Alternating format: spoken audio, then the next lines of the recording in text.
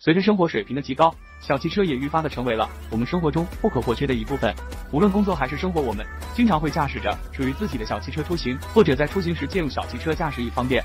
而用车次数多了，就会有过许多用车方面的亲身经历。作为车子的写字，轮胎也是汽车常常出现问题的一个部分。那关于车胎扎定，你了解多少呢？轮胎扎定还能跑吗？是该补胎还是换胎？聪明人只需四招，不用等拖车。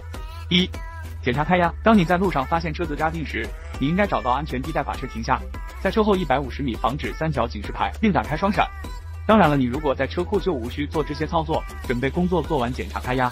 如果你准备了建议的胎压表，或者车子直接配备胎压检测装置，那就比较方便。如果没有，就只能靠肉眼观察轮胎的长瘪程度，或者用脚来踩轮胎感受轮胎的软硬，一次测试轮胎胎压。二，是否要拔定？估计你去问十个老司机，会有十个老司机告诉你不可以。如果钉子一出，车胎上的窗口会直接暴露出来，拔出钉子会让原本缓慢的漏气速度瞬间提速，这样是极为危险的。而且一般在发现漏气时，都是钉子扎进去一段时间之后了，经过长时间的轮胎挤压，钉子也不太容易拔出来。三，是否要更换备胎？如果胎压检测时发现胎压没有明显异常，而钉子不长，没有扎到内胎，这时可以考虑不更换，及时找到修配厂做专业检测。如果胎压降低了，说明车胎已经漏气，这时一定要及时更换备胎。千万不要抱有侥幸心理，毕竟要以防万一吗？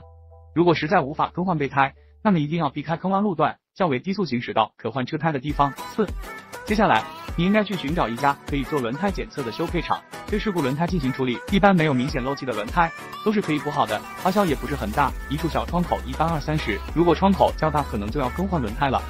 但无论如何，车子出现问题要及时去处理，轮胎问题更是如此。